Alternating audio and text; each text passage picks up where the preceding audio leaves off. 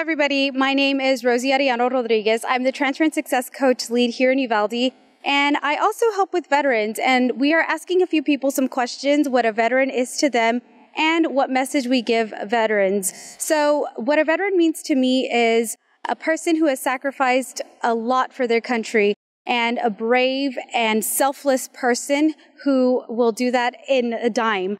And a message from me to the veterans is thank you for everything you have done and what you continue to do for our country. So follow along and we'll be going and asking some individuals some questions. So let's go. What is a veteran to you? A veteran to me is someone who served in like not the war, but in the army, navy, or something like that. A veteran to me is a very brave person that gives their lives for their country. They're just uh, strong people. You got to be really strong for that type of that type of work. So yeah. Someone who's served our country. Somebody who has sacrificed their life for our lives. Someone, yeah, someone who has fought for us and our freedom. Someone who was brave and put their life on hold to serve for us. Una persona que sirvió para el país. Le, le agradecemos por todo lo que han hecho, por todo lo, lo que han hecho en el exterior y es un sacrificio para la familia de él. Entonces nuestras familias le deben de agradecer. A veteran to me is somebody that uh, basically laid the ultimate sacrifice for our country, for our, our rights, uh, freedom. Okay. Miss Amanda, what is a veteran to you? A hero. A veteran is somebody who deserves more respect than they are given.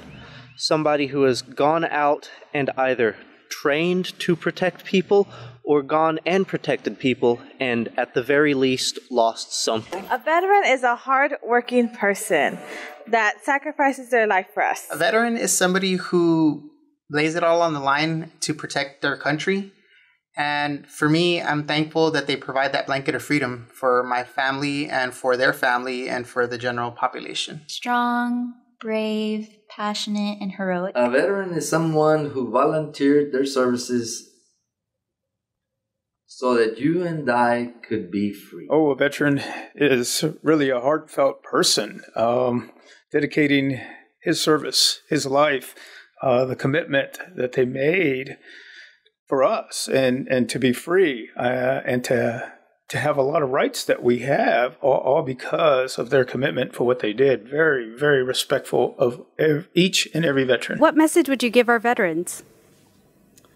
Well, thanks, of course and uh, personally and, and from uh, the junior college.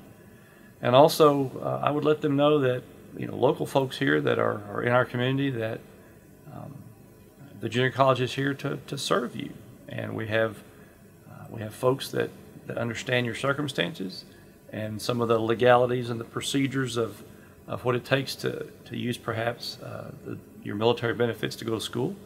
And we would love to help you uh, either come to school here or perhaps even somewhere else. If we can help you, please come see us. A huge thanks. We can never thank them enough uh, for the service and for what they've done for our country and for our freedom. You deserve better than you are given.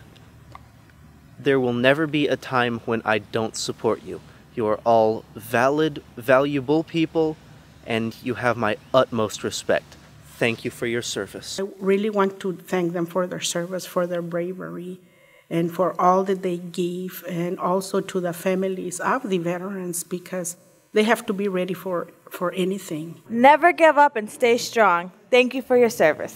Thank you for your sacrifice. Thank you for your courage. I just want to say thank you for your service. Que se cuiden y que les agradecemos al 100 de todo lo que han hecho por la nación.